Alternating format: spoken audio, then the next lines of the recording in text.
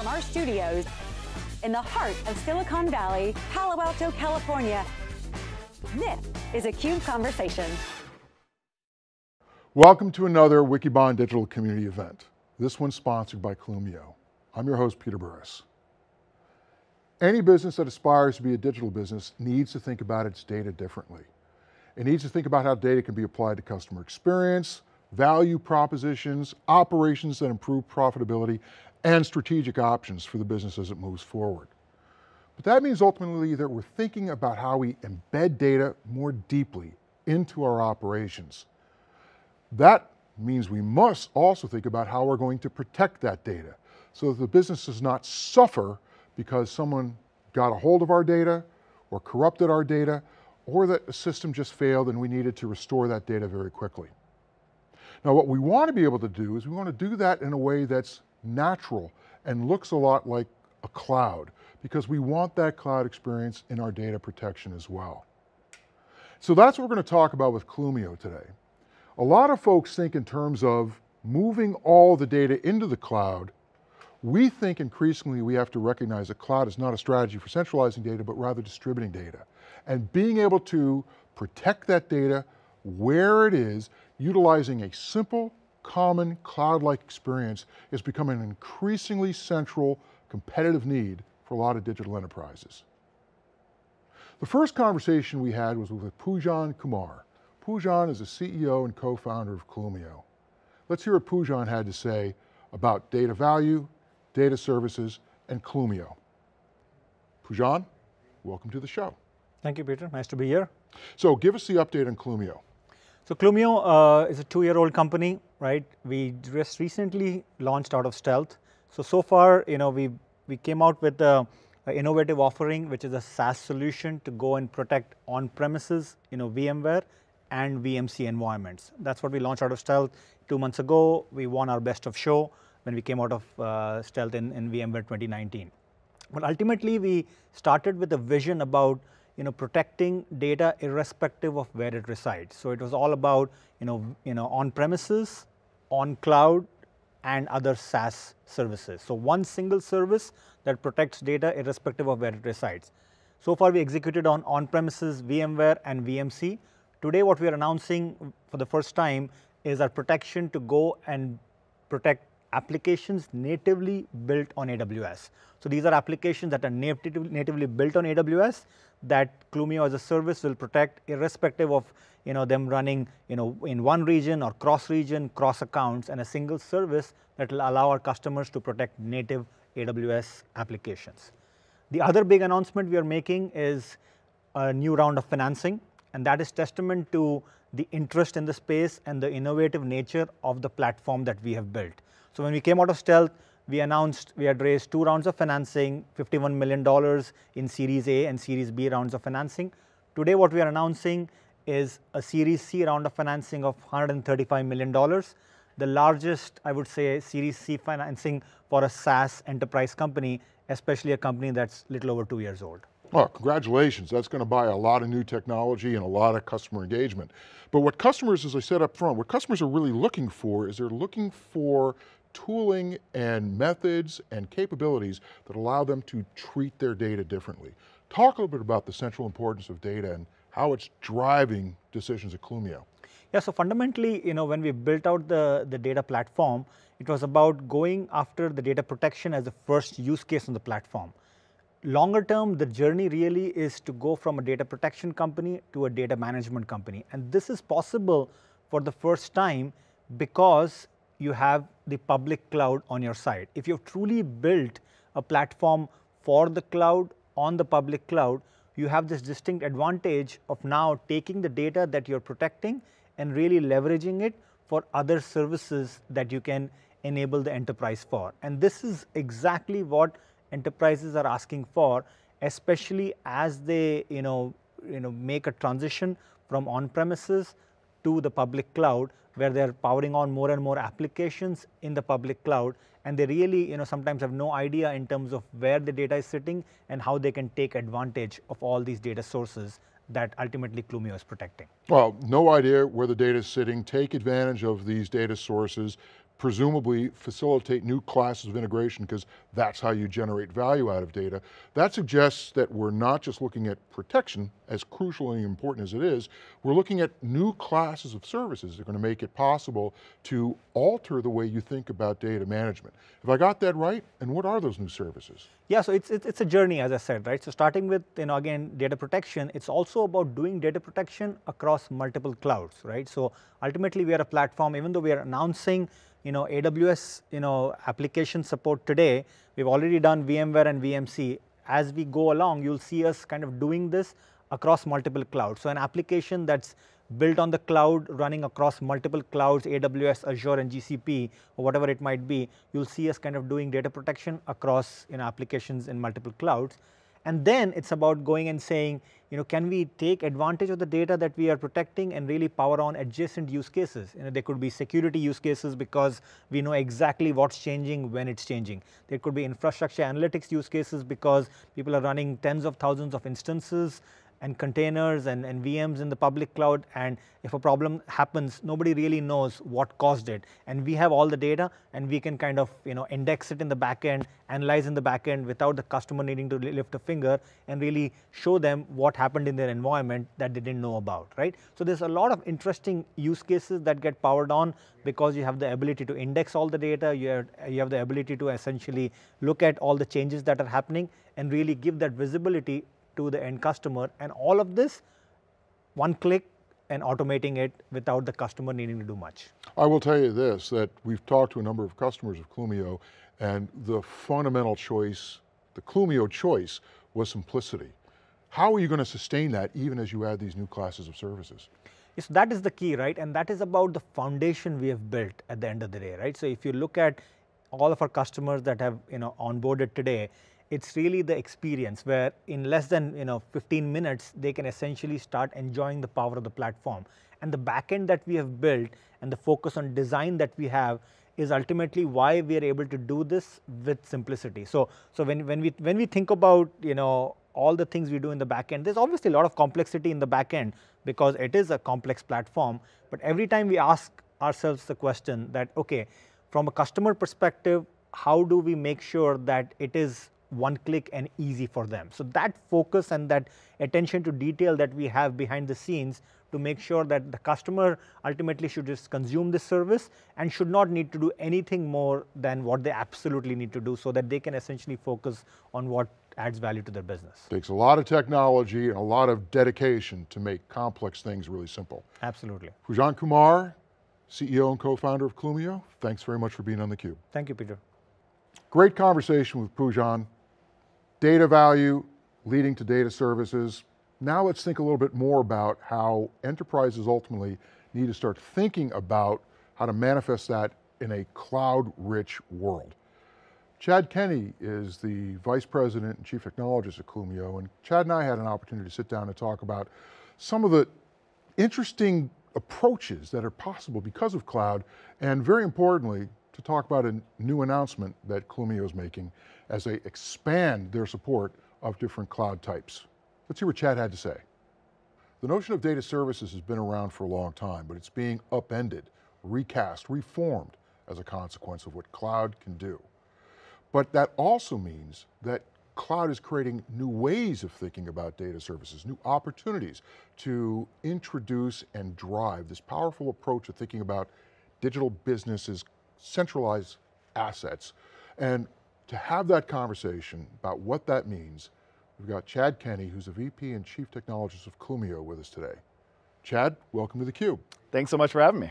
Okay, so let's start with that notion of data services and the role the cloud is going to play. Clumio has looked at this problem or looked at this challenge from the ground up. What does that mean?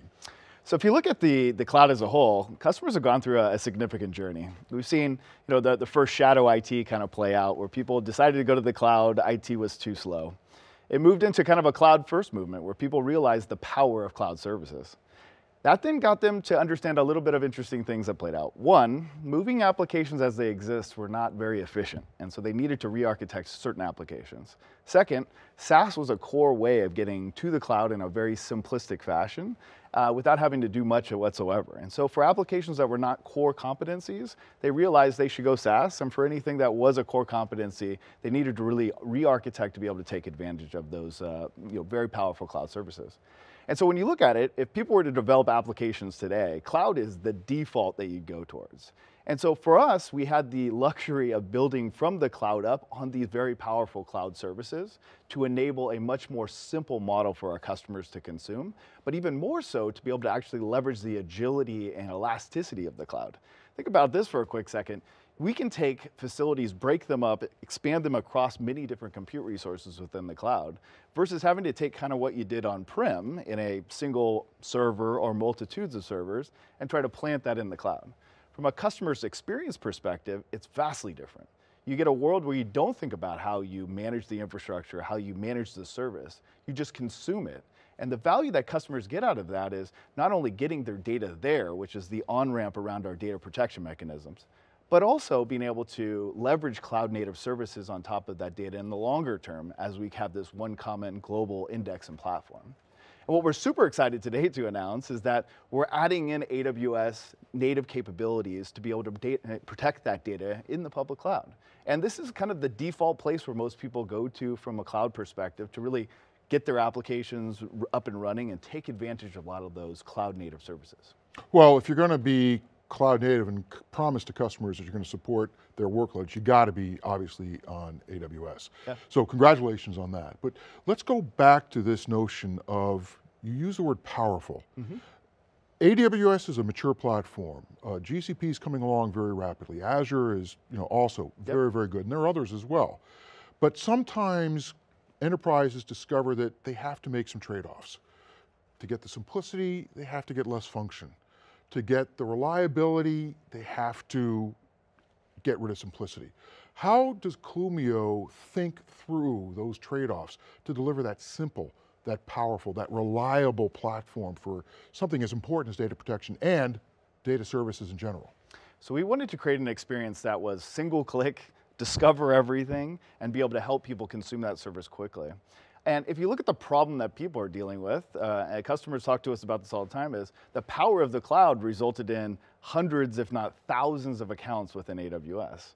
And now you get into a world where you're having to try to figure out, how do I manage all of these for one, discover all of it, and consistently make sure that my data, which as you've mentioned, is incredibly important to businesses today, is protected. And so having that one common view is incredibly important to start with. And the simplicity of that is immensely powerful. When you look at what we do as a business to make sure that that continues to occur is first we leverage cloud native services on the back, which are complex and, and, and you know, getting those things to run and orchestrate uh, are things that we build on the back end. On the front end, we take the customer's view and looking at what is the most simple way of getting this experience to occur uh, for both discovery as well as uh, you know, backup, recovery, and even being able to search in a global fashion. And so really taking their seat to figure out what would be the easiest way to both consume the service and then also be able to get value from it um, by running that service. AWS has been around, well, AWS in many respects founded the cloud industry. It's, uh, it's you know, certainly Salesforce and the SaaS side, but AWS was that first company to make the promise that it was going to provide this very flexible, very powerful, very uh, agile uh, infrastructure as a service, and they've done an absolutely marvelous job about it. And they've also advanced the state of the art of the technology mm -hmm. dramatically, and in many respects are in the driver's seat. What trade-offs, or what limits does your new platform face as it goes to AWS, or is it the same Clumio experience adding now all of the capabilities of AWS? It's a great question because I think a lot of uh, solutions out there today are different parts and pieces kind of clumped together. What we built is a platform that these new services just get instantly added. Next time you log into that service, you'll see that, that available to you. Um, and you can just go ahead and log into your accounts and be able to discover directly. And I think that the, the power of SaaS is really that. Not only have we made it immensely secure, which is something that people think about quite a bit, with having you know, not only data in flight, but data at rest encryption, uh, and, and leveraging really the cloud capabilities of security. Um, but we've made it incredibly simple for them to be able to consume that uh, easily. Uh, literally not lift a finger to get anything done. It's available for you when you log into that system. And so having more and more data sources in one single pane of glass and being able to see all the accounts, especially in AWS where you have quite a few of those accounts, and to be able to apply policies in a consistent fashion to ensure that you're you know, compliant within the environment for whatever business requirements that you have around data protection is immensely powerful to our customers. Chad Kenny, Chief Technologist, Clumio, thanks very much for being on theCUBE. Thank you. Great conversation, Chad. Especially interested in hearing about how Clumio is being extended to include AWS services within its overall data protection approach and obviously into data services. But let's dig a little bit more into that. Clumio has actually generated and prepared a short video that we can take a look at that goes a little bit more deeply into how this is all going to work.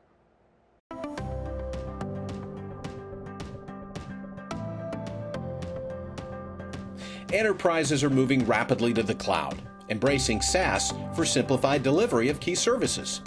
In this cloud centric world, IT teams can focus on more strategic work, accelerating digital transformation initiatives. But when it comes to backup, IT is stuck designing, patching, and capacity planning for on prem systems. Snapshots alone for data protection in the public cloud is risky and there are hundreds of unprotected SaaS applications in the typical enterprise. The move to cloud should make backup simpler, but it can quickly become exponentially worse. It's time to rethink the backup experience.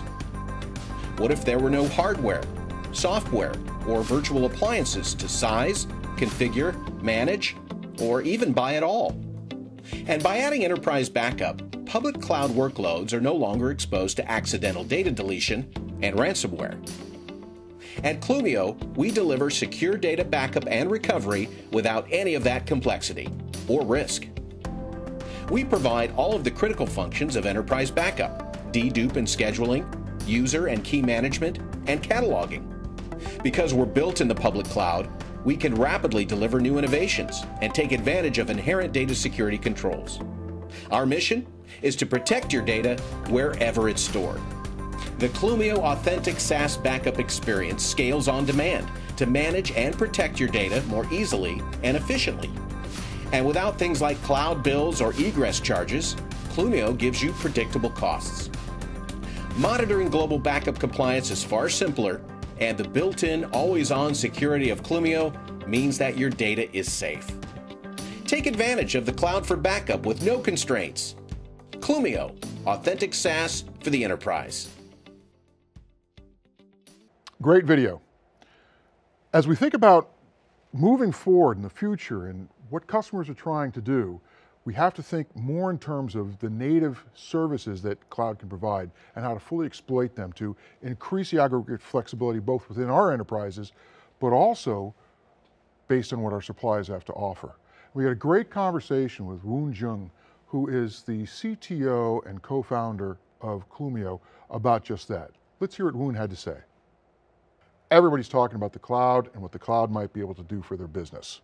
The challenge is there are a limited number of people in the world who really understands what it means to build for the cloud, utilizing the cloud. There's a lot of approximations out there, but not a lot of folks are deeply involved in actually doing it right. We've got one here with us today.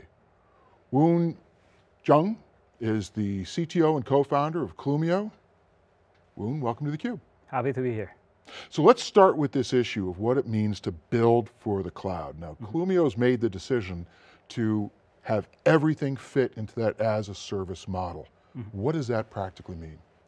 So from the engineering point of view, building a SaaS application is fundamentally different. So the way that I'll go and say it is that at Clumio, we actually don't build software and ship software. What we actually do is build so, uh, service, and service is what we actually ship to our customers. Uh, let me give you an example.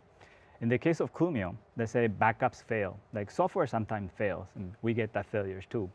The difference in between Clumio and traditional solutions is that if something were to fail, we are the one detecting that failure before our customers do. Not only that, when something fails, we actually know exactly why it failed. Therefore, we can actually troubleshoot it and we can actually fix it and upgrade the service without the customer intervention. So it's not about the bugs also or about the troubleshooting aspects, but it's also about new features. If you were to introduce a new features, we can actually do this without having customers upgrade it because we will actually do it ourselves. So essentially it frees the customers from actually doing all these actions because we will do them on behalf of them. At scale. At and I think that's the second thing I want to talk about quickly is that the ability to use the cloud to do many of the things that you're talking about at scale creates incredible ranges of options that customers have at their disposal. So for example, AWS customers have historically used things like snapshots to provide a modicum of data protection to their AWS workloads.